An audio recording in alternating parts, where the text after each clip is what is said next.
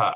All right. Hello, Samuel. We're going to talk today about the New York Asian Film Festival, which you are the executive director of. That, that's the correct title? That's yeah? correct. I'm the festival director. It's just Festival you know, director, executive yeah. director. Okay, okay, a little interchangeable uh, title. But first of all, um, tell me, did you enjoy yourself at the Cannes Film Festival?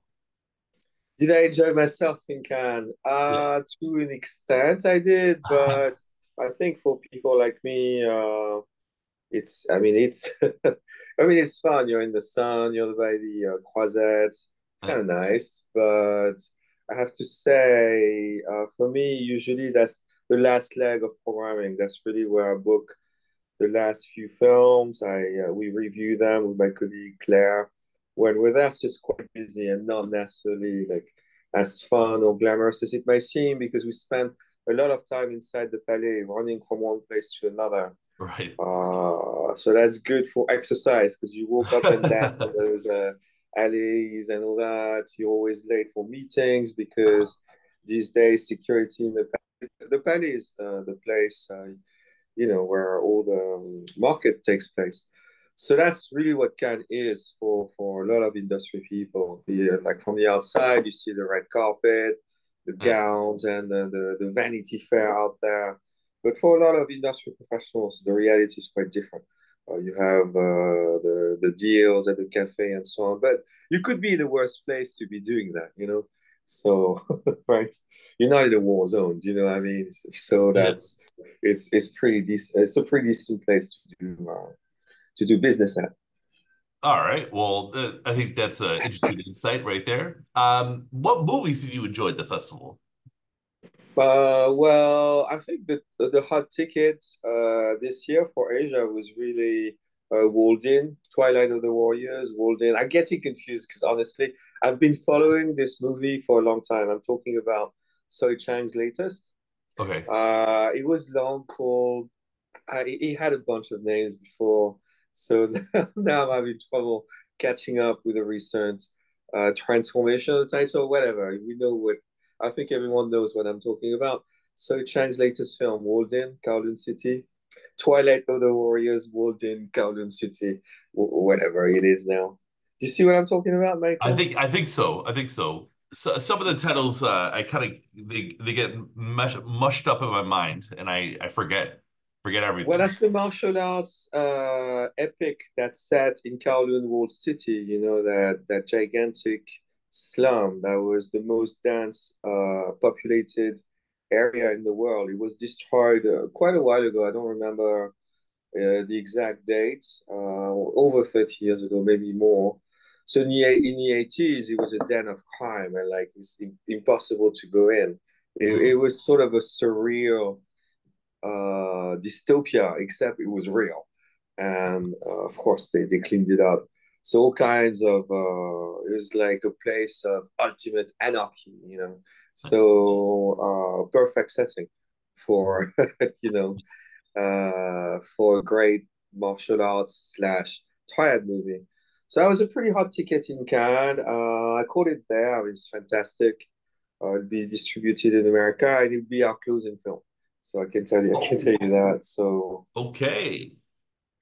That's exciting. yeah, it's pretty insane. That's like action nirvana basically for Hong Kong action fans and hopefully others. But very, uh, yeah, really exciting film. Very, very, very fun, and probably one of the titles I'm most excited about. All right. So I would love for you to tell me a bit about uh, various countries' entries to the New York Asian Film Festival. Uh, please tell me about some Japanese. Oh, so the the in terms of the Japanese movies, I think we have a really good. I think overall it's one of our strongest lineup. I have to say, obviously I'm biased, uh, but particularly this year, I mean, we have a great balance of action, drama. Uh, it's very diverse, and yet I think at, at, at some level very coherent. So for Japan, we have what I'm uh, most excited about. Some of the period pieces slash fantasy movies we have. We we're showing something called Bushido. That's Kazuya Shiraishi's uh, first uh, foray in Jidaigeki. It's his first period piece. Hmm. Uh, it's a really exciting piece, completely different. I think it really injects some new blood in the samurai genre. Uh, it starts off as a very quiet piece, uh, which is weird for him because he's been known for making ultra violent, pretty messed up Yakuza films before. And like all of a sudden, you have this movie that's very quiet, you know, like a period drama where people are playing Go. And then, of course, the souls come out. So it's a very schizophrenic movie, quite unusual. And I think I'm very excited about showing this one, see how the audience responds. Gorgeous cinematography, just an all around like great movie. Uh, we have something called Yin Yang Master Zero, which is a great reboot to the um, the Onmyoji franchise. So pretty famous franchise about uh, Onmyoji, you know, the Heian era. Uh, basically, it's like Taoist magic, uh, Yin Yang magic. You know, they do that stuff. It's like it's like Doctor Strange, but real, oh. not normal. Like oh, Doctor wow. Strange, particularly the imagery, is heavily borrowed from uh, Japanese and Chinese yin yang uh, sorcery and magic. So uh, back in the Heian era, the classical period in Japan, they had uh, such sorcerers, right? So there was a huge, hugely popular and critically acclaimed manga back. Oh, I don't want to say something wrong, but I think in the nineties, lasted for quite a while. It has all kinds of awards. They first made a, ver- a film version of it with um, Nomura Mansai. Uh, it's it's okay. I mean, it's classic in its own right, I guess. Uh, landmark. I think it's aged kind of badly, but the the reboot is really really like kick ass. Very very cool visuals. Uh, all around fun piece. Really gorgeous to look at. Just mesmerizing, really. And the uh, lead actor would be there. Uh, he's actually going to be there mostly for his new uh, another franchise called Kingdom, probably even more famous. It's uh, the new chapter. Chapter four is coming out. Massive, massive movie. Like all, all the films are, uh, did really well in Japan. So number four is coming out, and he'll be receiving the Best from the East uh, award, which specifically uh, honors uh, recent great performances of the year. So these are some of the titles I, I like. Uh, in competition, we put a movie, uh, a pretty complex psychodrama called Ichiko. Uh, quite a dark piece, completely the complete opposite of the Kingdom 4 and Yin Yang Master or Walled In. Really serious minded, uh, quite, yeah, serious headed drama. Uh, very dark, but at the same time, I think also quite uh, hypnotizing at some level. Really fascinating watch. So I think it's uh, yeah. So we don't do boredom at the festival. I'd like to think, but so these are all I think great pieces that I'd like to highlight for Japan only. Yeah, yeah we, we have a lot of stuff. tell me about the Chinese movies now. What are what are some uh, exciting titles to look forward to from China? Uh, China, China, mainland China. So again, a lot of things. Um, so we have the world premiere, the international international premiere of a film called The Escaping Man by mm. uh, Wong Yichun. This is a film with uh, a filmmaker with Champion. Uh, so that's her second film, if I'm not mistaken. Uh, incredibly masterful direction. Uh, a very unique filmmaker. It's a really great. It's basically, it's a story of like basically a group of losers kind of like people are just really not smart. There's this guy who got out of jail. He's kind of a dumbass, but they're very it's very endearing characters. They make a lot of mistakes. So, so he pairs up with a kid who's sort of like the village idiot. I mean, he's not a village idiot, but like not too bright, not a kid who's going to go to a great school. So it's very endearing to see these tales of people that were struggling to just live, you know. So at some level, it's some um, it's uh, it's a very serious story. Very, it feels very real at the same time. Uh, it has some magical realism elements. It's a very heartwarming tale with some hilarious moments. So it reminds me a lot of a certain kind of. Uh, that's a big comparison. It reminds me a bit of what Bong Joon-ho does in terms of bending and blending genres together. You you remember how, as again, maybe not the best comparison, but remember how Memories of Murder from like mm. over 20 years ago now is, is this really unique blend of com- black comedy and very, very dark thriller, right?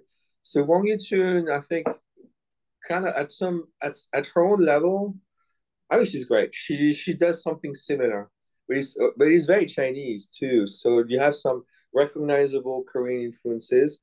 I would say she would admit to that, and uh, something very Chinese to what she does. Uh, so that that to me was one of the best films I've seen, and it beat competition as well. Uh, other than that, you want to hear more about the Chinese films? Uh, there's something called uh, a long shot uh, that's set in northeastern East, northeastern China. Uh, I mean, on the surface, it's like you know, like a social critique, kind of. Uh, basically, like it describes like the poor conditions, blah blah blah. Factory workers. It's never great. Factory worker. You don't necessarily have, you know, a luxurious, comfortable life. I think it's uh, it's a fact everywhere. Uh, yeah, I mean, I don't think the US doing particularly great with our working class workers. So that's interesting because there's a universal dimension to it. There's a historic dimension to it because it's set in the in the 1990s, a period of rapid fire economic growth where you know the country didn't care about what's going on with uh, the less fortunate. So so there's that, and again, it's uh, interestingly enough, uh, it's a blend of genres. So it's that, you know, like, okay, it's tough to work at the factories, but it's also a crime thriller because the main uh, character is this guy who's a former professional sharpshooter, but he lost his hearing and a bit of his edge as well. And it's his story and how he, he tries to bond, or in a way, is reluctantly, reluctantly forced to bond with his love interest's son. So it sort of has a father son uh, relationship exploration at its core. And it's a bit similar in that sense to Escaping Man. So I don't know. It's interesting because when you when you make this when you start when you program these lineups, you don't necessarily themes. Every year people ask me, what's the theme? And I'm like, how the fuck am I supposed to know? I just right. and it's pretty bizarre. Whenever people ask me that, it's like, how would you think that way? I, don't know what's coming out. I'm just basically the when you when you get started, my year starts in October, programming year in September, October.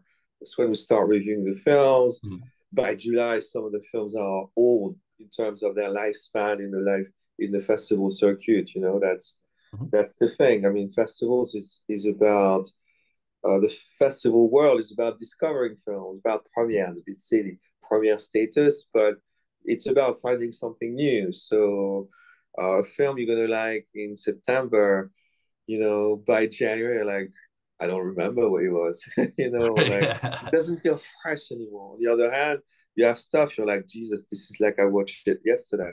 So right. that that's really interesting.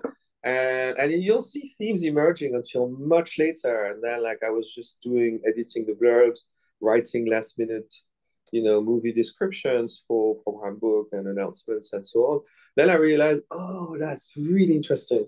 And now, as I'm talking to you, I'm realizing a bunch of the films have this sort of uh, mother, uh, mother, daughter, father, mm. son exploration. That that is new. I wasn't thinking about that before. That uh, that's quite interesting how, to see how convergences emerge. It's like as if in some regions or around the world, some themes emerge. I remember two years ago, a lot of films were like basically they're, they're if they had any statements to make uh, I don't think films should have a statement, but overall the, the, overall the message you could get from maybe half of the lineup, maybe twenty of the twenty of the sixty or seventy films we showed two years ago were basically well the rich suck, you know, it's like rich people are fucked up, and I was interested. That's interesting because you could see you could see that in the West as well. That was the year of, if I'm not mistaken, Triangle of Sadness, mm-hmm. Glass Onion, and all that. A lot of movies basically satirizing and making fun and taking aim at uh, the, the, the, the 10%, the 5%, the upper 5%. Mm-hmm. So you would see that in Asia as well. Uh, that was that was quite interesting to me. Huh? Maybe rich people just said enough of that. We're not going to finance movies that uh that shit on us. Yeah, maybe. I don't know. maybe that's happening. I don't know. Finance folks, you know, it's a different universe. That's why film is so exciting. It's a convergence of so many, so many different uh, jobs and interests uh, and politics. You know, a lot of a lot of folks who uh, are into uh, funding movies. They're not necessarily the most progressive. On the other hand, most film industry creatives are quite progressive. So yeah. it is like a, a, total mismatch. But somehow, out of that mess and uh, out of the conflicts, you, you make, you know, a 90 minute, two hour, you know, journey into something, right? Yeah, it's that uh, that that merging, the synthesis. It, it, both crowds, the the financiers, the progressive uh, filmmakers, let's say, like broadly speaking, maybe they resent each other, but they need each other. So, you know, yeah. Hopefully they realize that eventually. Yeah. Well, so I don't know. yeah, right. Probably not. Yeah, uh, that's uh, sort of uh, idealistic thinking. So tell me about the South Korean movies or some of the South Korean movies that are played. Ah, uh, that's a very interesting case. Yeah. Very interesting case because everyone's saying, "Oh wow, so I'm of Korean descent. I was born in Korea." Uh, right. Uh, so of, of course, I have a, in a sense, I have a vested interest in my uh, right native country, right? Um, so Korea is a really interesting case uh, because as a topic of conversation, obviously Korea is hot. It's red hot right now. Oh yeah. You know, you K-pop. K-pop has gone global. Uh, K dramas, Korean dramas on Netflix Global. They they're like the most watched uh, stories. I mean, uh, globally, I guess you could argue, uh, and they've gone mainstream. Um, the same is not true with films. And overall, I think the Korean entertainment industry has fared very poorly. And for the film industry, it's having it's basically having a near death experience. Oh wow! So there's a lot of caution happening. Uh, it's hard to find it's hard to find good Korean films. Oh. Uh, quite simply, commercial cinema is not that exciting any longer. Having said that, mm. you hmm. know, uh, I don't believe in in statements like, "Oh, these days everything sucks." Right. You know, right. if you're a decent programmer, you you you you know you take a close look. There's always interesting films coming out from like the horror genre, low budget, unpredictable stuff. So that's what happened this year. Uh, we found uh, great movies from unexpected places, different companies, different sales agencies uh, so we are opening with a Korean film. I really did not expect that. For a long time, I thought we are going to open with a Japanese title. Mm. Uh, they decided to wait for Venice. I think they're wrong. Uh, but I think it was a blessing in disguise. We found a very, very fun comedy called Victory. Uh, a very heartwarming tale, just it's like a feel great movie. It's basically it's set in the 1990s the lead uh, the lead actress is uh, Hyeri, best known as Hyeri from Girls' Day. It's a former former K-pop idol. Uh, I think she's making quite an impression in that film. Uh, so it's set in the 1990s, a small town Korea down south. If you speak Korean, everyone speaks in this really heavy uh, southern dialects. Kind of funny. It's just, it sounds very feisty. I don't know what to compare it with. Maybe it's like a southern drawl in a way, quite different from the Seoul dialect, uh, which is sort of like the dominant uh, accent or way of speaking. So basically, uh, it's about having big dreams in small town Korea. Uh, it's about these girls who are like not interested in studying at all, and they don't have much hope of ever getting out of that uh, that, that, that place where they live in, right? And they decide to form a cheerleading group. Uh, what the hell is cheerleading? And so it's a snapshot of 1990s Korea and a portrayal of uh, a coming of age story. Uh, I thought it was hilarious. Really, one of the films I enjoyed the most. Just as a pure level, on a personal level. I, I wasn't thinking, oh, this is gonna appeal to so and so. I was just like, this is right. really fun. We should show it. I just don't see how anyone with the pulse would dislike this. It's it's just incredibly likable and enjoyable. Sometimes that I like to think we choose films on a formal basis. We appreciate, we try to appreciate films as objectively as possible, evaluate them objectively. But also sometimes, you know, you're not a robot, right? So you watch.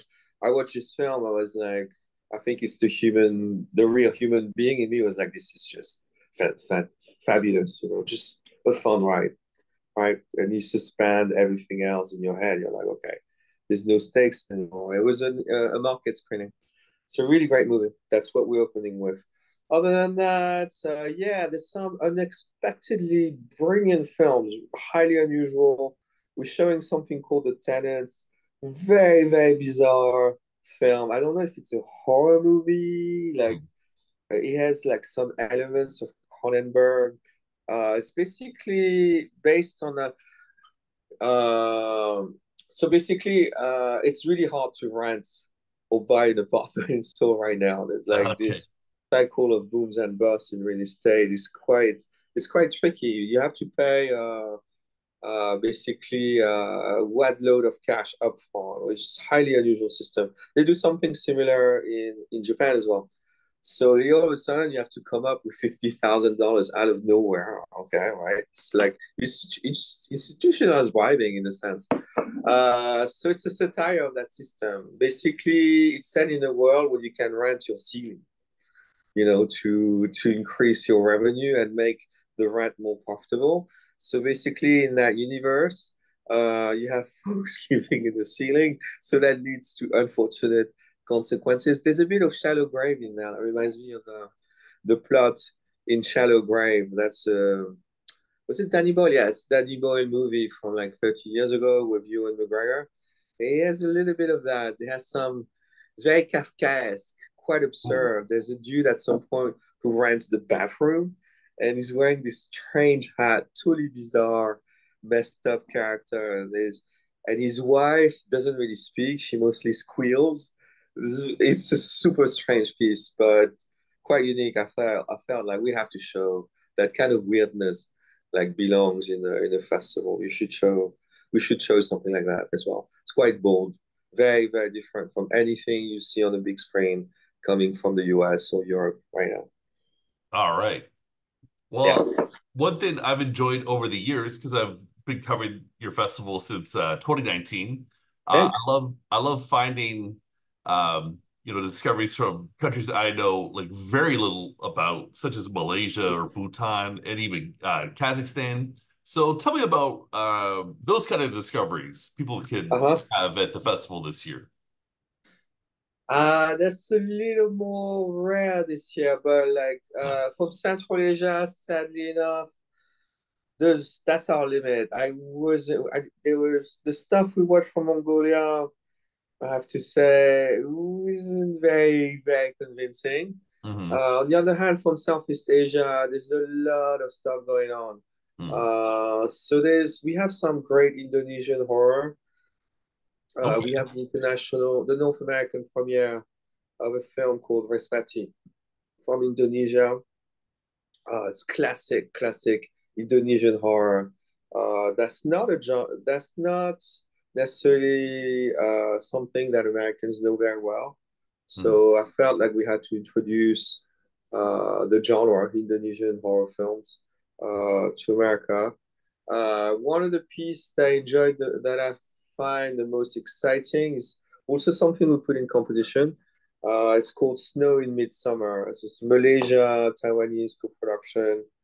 Uh, pretty incredible movie, very classy art house piece uh, that's focused. It's very KL, very Kuala Lumpur. Not sure how to describe that movie either. Uh, it's quite art house, but in a way that's very accessible. That's something I, I, I believe we do well. Uh, I think you find in international film festival circuit sometimes you find very very pretentious shit like glorified glorified slideshows and the like. So I, I try to avoid those. You know, movies where like you you watch basically laundry drying in the sun, and I'm not kidding because that's actually the first five minutes of a film I've seen this year. I was like, holy shit, is that a joke? So well, I mean, I don't know. It's just, some people enjoy that, so I shouldn't dismiss those. But uh, I I think I'll. I mean, I'm getting into more general considerations about the festival, about what we do. But uh, I like to think when we show Art House, it's still strongly based on the strength of the storytelling. The story has to be accessible. So that's something uh, I believe uh, I take pride in. Uh, in any case, so yeah, we have some some really different things from Southeast Asia. I have a great stoner comedy. We have a great stoner uh-huh. comedy from the Philippines called When This Is All Over. It's pretty hilarious. So it's set, it's set during lockdown time. You, I, I was my colleagues were like, "Who wants to watch another COVID lockdown story?" But I was like, "This is just really fun."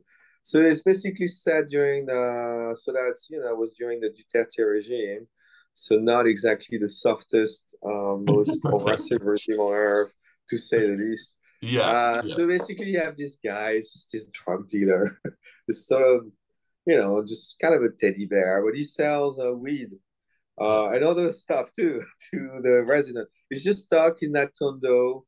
Uh, so at, at some level, it's just like this dude who's trying to eke out a living, just make it through the day, and still earn a living. So he sells he sells dope to people, and so that's pretty hilarious. You never learn his name, so that's pretty oh. interesting. They just call him "Are you the guy?" And I was like, okay, that's just great. It like so they just call him the guy for hours. Like, hey, you're the guy. Like, yeah, I'm the guy.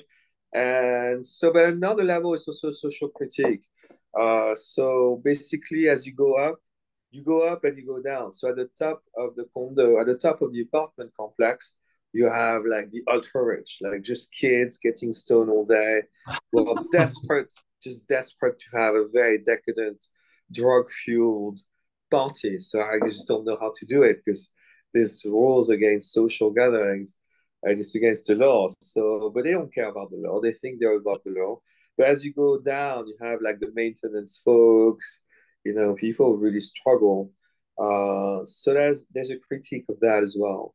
Uh, so that's yeah. Again, it's a genre blending, bending, uh, but it's it's it's a really fun ride very fun ride. It has elements of Euphoria.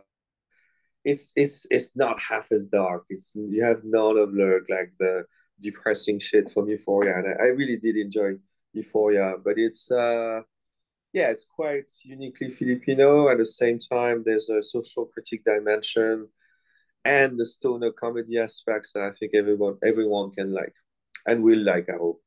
Oh, it's definitely one I want to see. Um, I yeah. enjoyed um, the the Yuen Woo-ping honoring five years ago. He got the uh, the Lifetime Achievement Award at the New York Asian Film Festival. So who's getting the honor this year? Okay, so for Lifetime, we have a seasoned veteran from Hong Kong. Uh, his name is Tai Bo. He's not necessarily someone whose name you'll recognize so easily, but I think he's been in everything and in his latter years he's really shining so we have uh, we're showing again as part of a filmmaker in focus about Ray Yeung. Uh, he's an LGBTQ plus director. Uh, he makes stuff that I think anyone, regardless of sexual orientation, can watch. Hmm. Uh, so Tai Bo, a couple of years ago, was in a film called Suk Suk. Uh, it got renamed as Twilight's Kiss and he plays he plays a guy who's like yeah sexually I don't know what how old he is, and he gets into a secret liaison with another man his age, and they but the the the the the, the, the twist is they both married. In theory, they're like, but you know, in Hong Kong, uh, same sex marriage is not possible, right? And same sex mm-hmm. relationships are frowned upon.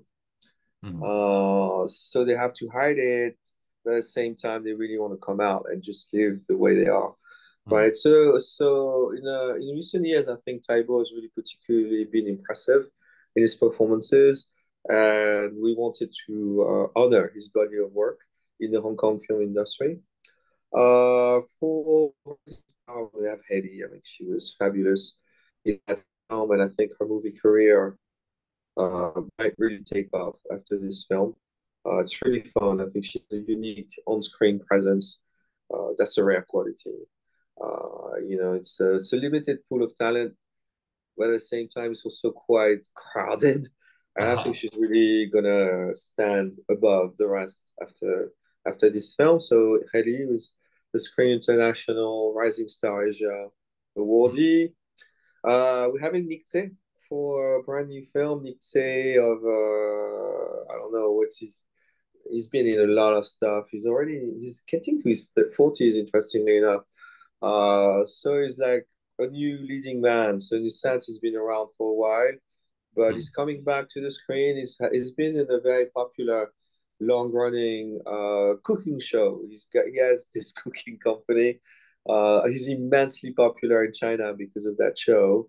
Uh, but he's making a return to the action film genre, and he's for the first time he's been he worked on the action choreography uh, of his uh, new film. It's called Customs Frontline. He will be on US screens uh, after uh, after our screening. Uh, so Customs Frontline, directed by Herman Yau, who's had a long career as well. Oh, uh, I love Ebola syndrome.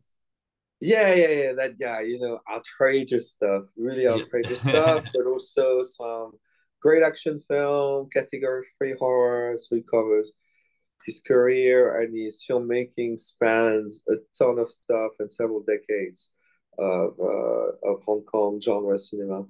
Uh, other than that, uh, we have the Dan Craft Award for Excellence in Action Cinema. Uh, would be going to Yugo Sakamoto uh, for his franchise Baby Assassin.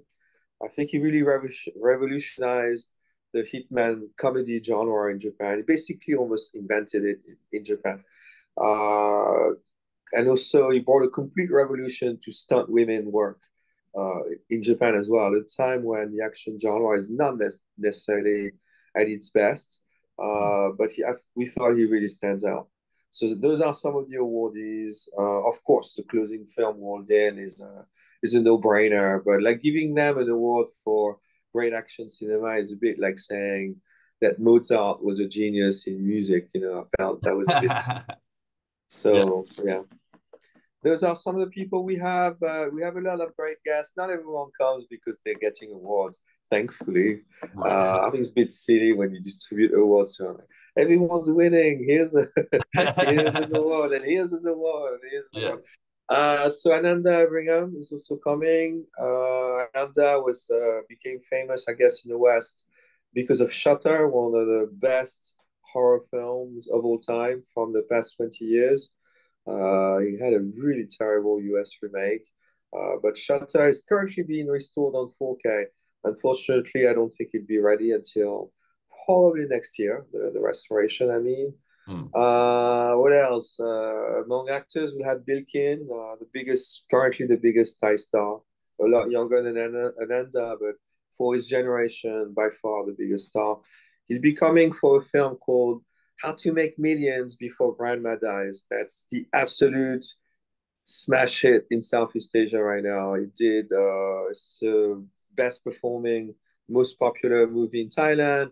It beat records in Singapore, in, in Indonesia. That's a big deal too. Is I should always add people who don't necessarily know Indonesia, but like this is a country of like 250 million people, 270 wow. million. It's a really huge country. So being a, a hit you know, in, in Indonesia is not a small thing. Believe me, it's one of the fastest growing uh, theatrical market in the world. Indonesians love movies.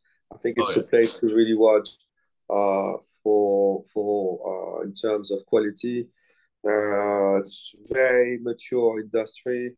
Lots of great commercial cinema a lot of horror, uh, but nice. definitely I think it will. I think it will diversify in the future. Uh, among filmmakers, uh, it's interesting, yeah, because I realized with my colleague last night when I was going over the blurbs, we have like 20 new films, first films. I'm like, wow, it's a lot of uh, new discoveries, and it's really interesting. So a lot of first-time filmmakers, they're just as good as the veterans. You know, it's, it's saying Like sometimes you're young, or not necessarily young. You can make a film. That's the beauty of filmmaking. Some people start in their forties, fifties. I don't know, yeah. and like bam, the film's just like just as good as someone who's worked in the industry for twenty years. That's really interesting very weird phenomenon. So sometimes just the energy of uh, the director just bring something new. Maybe the team they gather. I don't know. There's a power to to to emerging filmmaking that I didn't realize. Uh, so yeah, that's an interesting year in this respect for uh, feature debuts. A very good year for that. All right. Well, we're, we're gonna have to leave it there. Thank you so much for your time, Sid. I, I talked a lot. yes, we Sorry, did. I was very talkative. No, I enjoyed it. It was very, uh, very informative, and I highly recommend people check out this film festival. It's one I look forward to cover, covering virtually, but still, I look forward to it every year. Yeah, go to nyff.org if I can plug that in. Yeah. nyff.org. Uh, and I hope to see some of you at the festival.